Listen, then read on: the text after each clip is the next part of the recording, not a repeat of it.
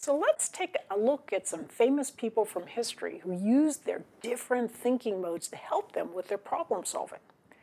If you look at that guy right there, he was Salvador Dali, a very well-known surrealist painter of the 20th century. He was the very definition of a wild and crazy guy. You can see him here with his pet ocelot, Babu. Dali used to have an interesting technique to help him come up with his fantastically creative surrealist paintings. He'd relax in a chair and let his mind go free, often still vaguely thinking about what he had previously been focusing on. He'd have a key in his hand, dangling it just above the floor, and as he would slip into his dreams, falling asleep, the key would fall from his hand and the clatter would wake him up just in time so he could gather up those diffuse mode connections and ideas in his mind, and off he'd go back into the focus mode, bringing with him the new connections he'd made while in the diffuse mode.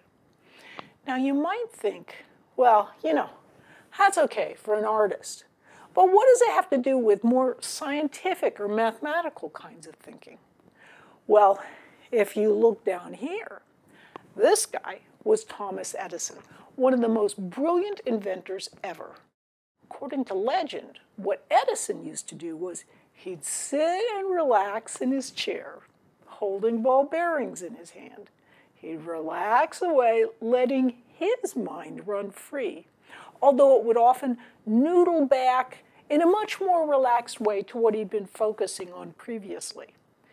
When Edison would fall asleep, the ball bearings would drop and clatter to the ground just as with Dali, and it would wake Edison up and off he'd go with his ideas from the diffuse mode, ready to take them into the focus mode and build on them. So the bottom line is, when you're learning something new, especially something that's a little more difficult, your mind needs to be able to go back and forth between the two different learning modes. That's what helps you learn effectively.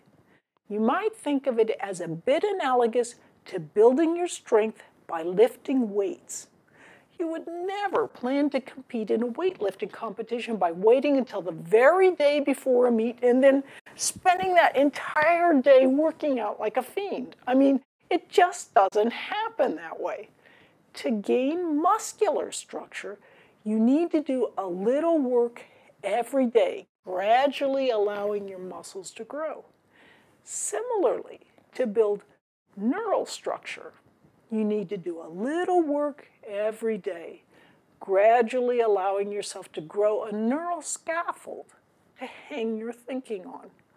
A little bit every day, and that's the trick. In summary, then, we learned that analogies provide powerful techniques for learning. We learned about how the brain's two different thinking modes, focused and diffuse, each helps us learn, but in very different ways. And finally, we learned that learning something difficult can take time. Your brain needs to alternate its ways of learning as it grapples with and assimilates the new material. Thanks for learning about learning. I'm Barbara Oakley.